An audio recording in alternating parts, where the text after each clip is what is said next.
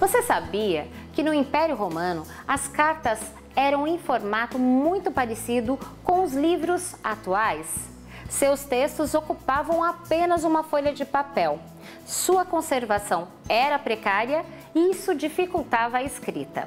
Com a chegada da imprensa, veio junto a necessidade de se criar a encadernação, mesmo que em processo artesanal. Uma arte que tem sido valorizada ainda mais nos dias de hoje, por sua personalização e exclusividade. Começa agora, feito em casa.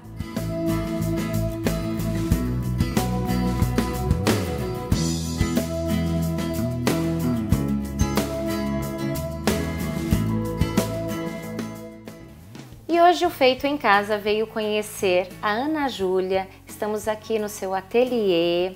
Ela que gosta de arte desde a infância, aposentada da educação e hoje tem a sua própria marca, Entre Linhas e Papéis. É isso? Isso. Entre Linhas e Papéis é uma marca que eu criei né, é, há seis anos e hoje eu tenho esse ateliê onde eu produzo cadernos, livros, cadernos de receitas e tudo que envolve uma encadernação artesanal. A gente sabe que a arte, assim, às vezes vem de família, às vezes a gente vê é, a avó, a mãe é, e acaba nascendo essa vontade na gente. Como que foi para você? Na minha casa, né, minha mãe sempre fez é, muita coisa artesanal, né? Então as roupas, as nossas roupas, é, tinha muito crochê, bordado e tudo que envolvia esse fazer artesanal eu presenciava na minha casa. E, então eu sempre, desde pequena, gostei de mexer com as mãos, de criar coisas novas. Então surgiu essa desde essa época. É, eu vi aqui no seu ateliê, né, é, a sua embalagem, ela é toda personalizada, feita à uhum. mão. Sua mãe, você estava me dizendo, que faz as etiquetinhas. Sim, sim. A minha mãe tem 84 anos e ela é muito ativa, então ela que cria todas as minhas embalagens e que eu uso aqui na, na produção, né? Então ela que faz todas e agora a gente está até as etiquetas, as mini etiquetas da, das embalagens muito são, lindas, são bordadas por ela. Né, é, como que foi essa transição, Ana Júlia? Você é da educação. Eu sei que a educação já tem esse, esse lado mais é, criativo, uhum. né? Mais delicado. É, como que foi essa transição? Quando que foi essa descoberta? Na educação você usava arte? Uhum. Sim, é, como eu, eu, sempre convivi nesse universo né, de papéis e livros e, e, criação, sempre, sempre isso fez parte do meu universo. Né?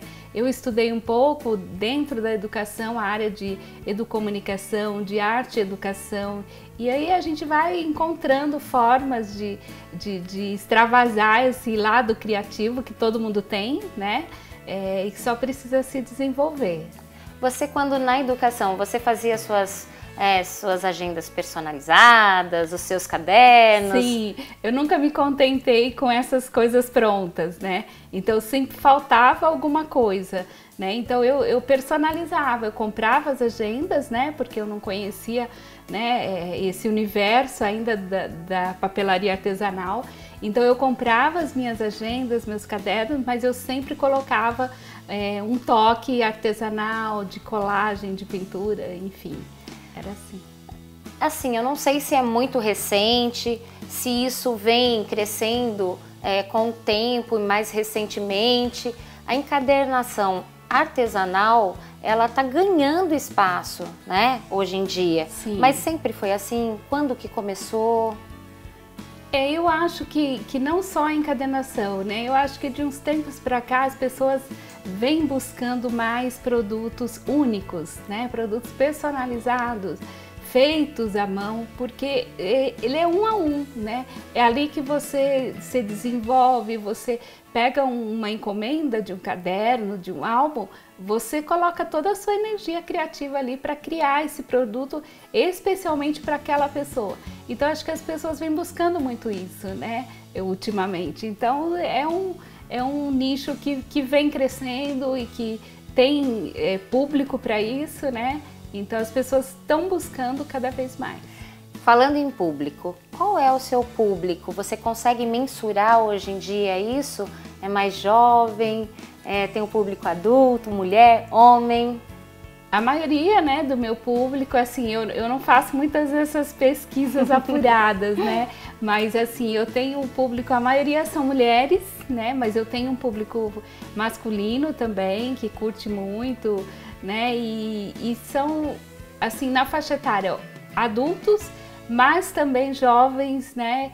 Que, que eu acho fantástico, né? Os jovens buscando essa alternativa artesanal para ter um produto diferenciado. Então eu tenho bastante clientes jovens que me seguem e que me acompanham e curtem e adquirem meus produtos também.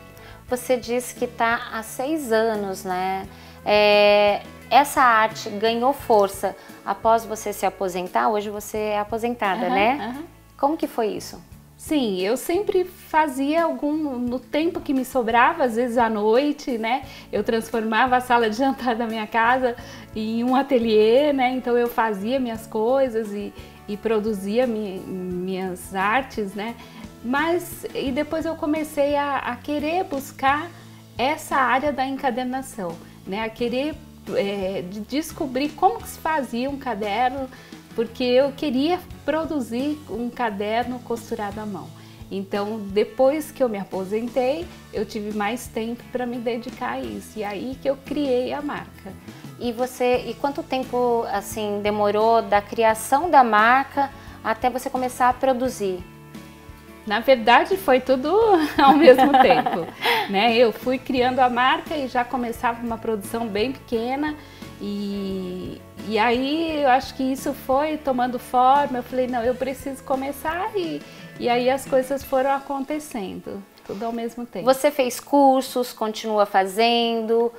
esse mundo pede cada vez mais um novo aprendizado.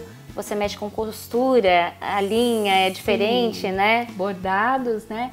Hoje a minha identidade na encadernação são os cadernos bordados à mão, né? E então assim, acho que sempre a gente, em qualquer área, a gente tem que estar sempre estudando.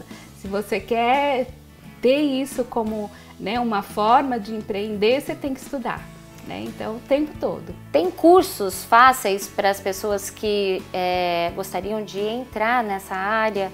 É, é mais internet ou você acha melhor o presencial? Eu acho que as duas coisas fazem sentido. O presencial, eu acho que o fazer artesanal ele merece essa, esse presencial, né? Esse toque. A gente usa muitas mãos, então assim, a, até o próprio calor das mãos interfere na qualidade de um produto. Olha né? só. Então, é, o presencial ele faz toda a diferença. Mas eu também aprendo muito pela internet. Tem vários cursos gratuitos, né, que, que a gente pode aprender, diferenciar novas técnicas, né? Mas você falou de estilo próprio. O seu estilo é o bordado. Você é, tem alguma é, alguma inspiração, algum lugar onde você vê os modelos? Como que funciona isso para você? É, então, existem muitas pessoas que utilizam o bordado na encadernação, né? Muitas referências lindas, maravilhosas no mundo todo, né? E assim, mas eu fui buscando assim aquilo que me fazia mais sentido, né? Então eu sou é, a minha observação maior é e minha inspiração vem da natureza. Então você pode perceber que os meus bordados eles são quase todos de é, árvores, flores, plantas, que é o que eu gosto de, de observar e que eu me senti à vontade para começar essa produção. Tem muitas árvores e então esse é um, um estilo que eu criei além da do bordado. A inspiração vem da natureza. Sim, sim. É tudo muito lindo. Ana Julia, eu vi aqui que você tem bastante material. É, o que, que, geralmente é necessário para esse tipo de confecção, né, de encadernação? É, além das linhas, a cola, aquela coisa toda, Sim. tecido, como que funciona? É muito pouco. Para você começar, né, hoje eu tenho é, um, vários materiais porque eu fui adquirindo e começando a ter mais produção, então eu fui devagar adquirindo outros materiais, mas a encadernação é possível fazer com pouquíssimos materiais e ferramentas, pouquíssimo. Então você consegue fazer um caderno é, na sua casa, onde você sim, estiver. Sim, num pequeno espaço você consegue produzir. Eu vi que você tem muito equipamento, aquela prensa, uhum. é, tem outras coisas que precisam para. Eu vi um ferro ali para passar, uhum. não sei, de repente sim. precisa de mais equipamentos assim, é, além do que você falou que pode fazer manual? Não, não precisa. A prensa eu tenho há pouco tempo, então antes eu usava a prensa com livros pesados, era a minha prensa. Então você consegue prensar o seu caderno colocando embaixo de livros pesados, né? Livros maiores. A gente usa então, o que tem, né? Tudo, tudo dá para adaptar, tudo você consegue é, utilizando pouquíssima coisa, material. Bom, a gente viu que a exclusividade e a estética do produto hoje fideliza muito e chama mais a atenção das pessoas, que é o que diferencia dos produtos artesanais e dos industriais. E no próximo bloco a gente vai aprender e ver como essa arte de encadernação artesanal funciona e a gente vai fazer um. Vem comigo, a gente volta já já.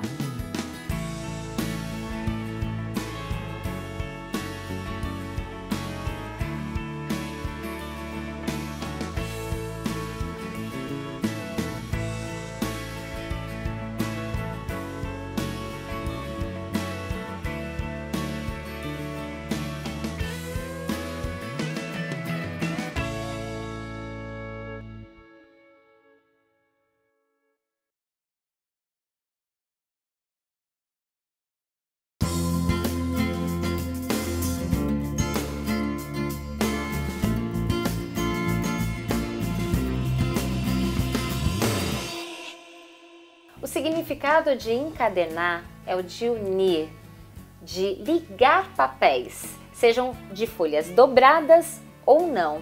E esse processo ele precisa de materiais de boa qualidade e também personalizados. E hoje o Feito em Casa está aqui com a Ana Júlia e ela vai ensinar para a gente, ou melhor, a gente vai aprender como esse processo funciona, né, Ana Júlia?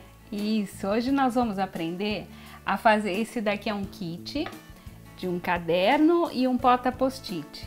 Então eu, eu, gosto de mostrar para você ver opções que você tem para fazer na encadernação. Né? Esse daqui é um porta post-it e esse é um caderno que você vai aprender a fazer. Essa costura se chama costura borboleta, tá? Então nós vamos uhum. costurar esse caderno essa, à mão. Essa daqui ela diferencia, né? Uma, então um do lado do outro é a borboleta. É, essa, esse tipo de costura se chama costura borboleta. Então você vai unir os papéis uhum. com a linha encerada e você, você vai costurar. Eu vou costurar, todo esse gente. caderno. Eu tô ficando muito lindo. artista ultimamente. então essa é a proposta, né, que nós vamos está fazendo hoje. E esse também porta post-it. Post post e ele é também. Esse é mais simples, né? Ele não precisa da costura, né? Por conta do tamanho. Então ele só tem essa capa. E aí você usa o, o post-it. Post Quando termina, você pode estar tá utilizando, colando, colando outro, outro. E aí ele fica essa, essa produção aqui de um kitzinho que é bacana para comercializar, né? E presentear alguém e também, né? Uhum. Gente, é, a gente estava conversando, né, que o processo é um pouco lento, demora por Sim. conta da cola, é, tem alguns processos que são mais demorados. Então, a Ana Júlia, ela deixou algumas coisas prontas, é isso? Sim, porque o processo de encadernação, como envolve essa parte da colagem, ela precisa de um tempo de secagem, porque senão você acaba é, danificando os papéis, né, pela umidade. Então, como aqui o tempo é mais escasso, eu já adiantei, né, a capa que você vai estar utilizando, tá? É essa? É essa capa. Então, ela tem toda essa parte flexível, ela é feita com, os, com o papelão, né, revestido de tecido. Aqui utilizei duas etapas, né, duas cores de tecido para que a costura ela apareça bem. Você vai escolher a cor da linha e nós vamos estar tá produzindo esse caderno. Você vai costurar esse caderno aqui pra gente. Bom, é, a gente eu vi papel, eu vi aqui as agulhas é, e todo o material que a gente vai utilizar hoje. Sim. É isso? Sim, aqui nós temos o primeiro na encadernação, a gente, a, a gente faz é, o miolo, né? Que são os cadernos que vão ser costurados aqui dentro. Primeiro a gente faz o miolo, a partir do miolo pronto, dobrado e prensado, aí nós vamos fazer a capa. Aqui eu, eu adiantei, já fiz a medida correta para que a gente possa ter aqui, ó, eu o vou resultado. mostrar esse detalhe, porque o papel, a capa, nada mais é que a proteção desse papel. Então ela, ele precisa ter um espaço aqui, aqui, dos todos os lados, para que esse papel seja protegido. Então a capa tem essa função. Então aqui eu já fiz toda a medição antes e aí você vai estar tá escolhendo. Aqui eu utilizei é, para que você escolha papel pólen. Então nós temos a opção dele pontilhado, né? Então tem pessoas que gostam de utilizar o pontilhado para fazer esquemas, desenhos. Aqui eu tenho uma brincadeira aqui que a gente utilizou é, de, de, cadernos de viagem, então são os mapinhas. Legal. Você pode escolher. Uhum. E tenho também ele liso, né? Que aí você solta a sua cri criatividade, podendo escrever, desenhar. Então, eu... Tudo é personalizado, gente. Já viu? Isso. Começa pelos papéis. Esse caderno vai ser com a sua identidade. Olha, e é difícil? Não, não. Você não? vai fazer, você vai primeiro, né? Aqui nós temos a dobradeira que você vai utilizar, né? Que é, a gente fala que é a segunda mão da encadenadora, né? Ela nos ajuda muito. É, aqui eu tenho o molde da furação que você vai estar tá fazendo. Aqui o molde para furação dos papéis que já tem marcado, que eu vou explicar. Uma agulha, né? Agulha normal, normal. que possa ser utilizada você vai escolher a linha. Eu já essa escolhi. É um... é. Eu gosto, quero essa. Isso, Acho que vai combina. super combinar. Então é essa que eu, nós utilizamos a, a, essa linha encerada, ela pode ser utilizada outros tipos de linha, existem linhas de vários tipos. Essa é encerada porque ela, ela permite que o papel não fique deslizando, então a cera ajuda a segurar. E também, se você for utilizar uma outra linha, você pode utilizar cera de abelha para... Eu tenho até aqui. Você pode utilizar cera de abelha. ah, eu tenho linhas de bordado, eu queria utilizar. Pode? Pode. Aí a gente passa a linha nessa cera de abelha e utiliza na encadernação. Então essa é uma, uma dica bacana também. Você in, é, passa a cera na linha para qual motivo? Para ela ter mais firmeza na hora, para ela não ficar, porque só a linha e para ter mais resistência também. Ah, tá. tá. Porque a linha importante ela isso, não a, ela não pode arrebentar, porque a gente vai estar tá puxando, então a, a cera ajuda a ter resistência. Bom, eu acho que vocês gostaram, né? Eu amei, viu, Ana Júlia? Então anota aí os materiais que a gente vai utilizar hoje. Berço de furação, placa de corte, régua de aço, cantoneira para corte, fio de cabelo, agulha, dobradeira, estilete, tesoura, agulhão para furar ou furadeira, tesoura circular, kit de gabaritos, papelão, tecido, cola branca, adereços e fio encerado. Então, o primeiro passo, você vai escolher o tipo de papel que você quer. Esse daqui eu posso desenhar. É, Pode. É, o pontilhado, né, que você disse. Então, eu conto 15 folhas aqui. Uhum. Aí, gente, Agora então... você aqui vai montar os dois cadernos. Tá. Então, você alinha, né, alinha. bem e dobra ele aqui para que ele fique Qualquer bem lado? alinhado. Qualquer lado. Na verdade, você vai escolher o lado que o papel tem, o fio do papel. Tem um lado que ele é mais difícil de dobrar e aqui ele tá no fio correto. E aqui eu vou alinhar o máximo que eu puder, tá? Sim. E vou dobrar. É, tá bem alinhado em cima. E vou dobrar aqui com as mãos. E depois eu vou usar a dobradeira que eu tinha mostrado para vocês para vincar esse papel para que ele fique bem bacana. Então aqui nós temos os dois, Os dois. cadernos que você vai usar. E aí você percebe que ele ainda não está no, no formato fechado. Então o que, que a gente utiliza? A gente utiliza um pouco a prensa, tá? A gente põe um pouquinho na prensa. O ideal é que fique de um dia para o outro, quando é um- uma quantidade maior, para que esse papel ele molde e fique exatamente como eu quero assim, tá? Tá, a gente vai precisar utilizar a prensa agora. Bom, gente, agora que já está prensado, Uhum. Ana Júlia, o que, que a gente tem que fazer agora? Então agora nós vamos furar essa capa. Ela, como ela aqui está pronta, eu vou colocar uma base para você estar fazendo a furação. Então aqui eu já preparei para É um você molde. o molde, tá? Tá. Então nós vamos posicionar esse molde do tamanho da lombada. Aqui eu tenho vários tipos de agulhão que nós chamamos. Então nós vamos usar esse daqui e você vai fazer o seguinte, você vai furar até ele atingir toda a capa. Isso, força. Aí, pode furar todos eles, onde tem essa marca. Pode tirar? Então agora eu tô aqui fazendo os furos conforme o molde que a Ana Júlia já preparou. Então, nós vamos começar. Como essa costura é uma costura exposta, eu vou começar de dentro para fora. Então, eu venho no primeiro furo, ó, vou posicionar o primeiro furo e vou puxar, tá?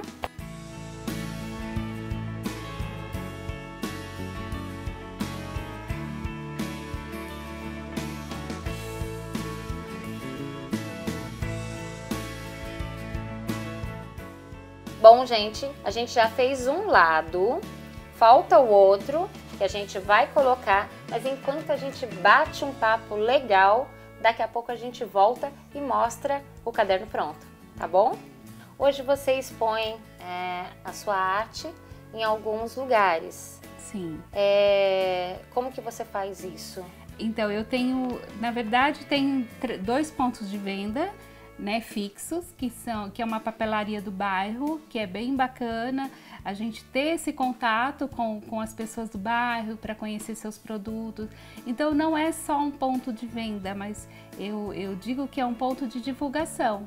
E eu tenho a, a loja Best Arts também, que é especializada em produtos para arte, que também é outro ponto de venda que eu comecei esse ano.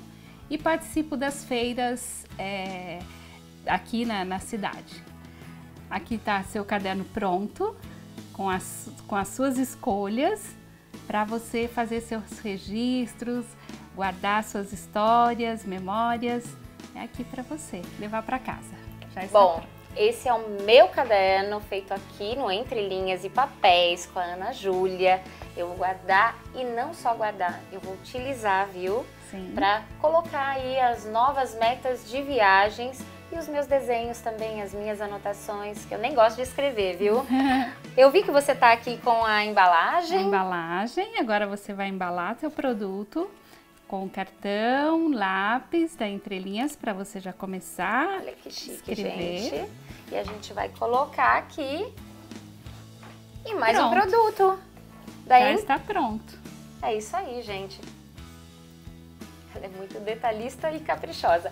Mais um produto da Entrelinhas e Papéis e o nosso programa vai chegando ao final. É, tem muito, muito assunto, muita arte, mas hoje a gente fica por aqui, porque aqui tudo é feito em casa.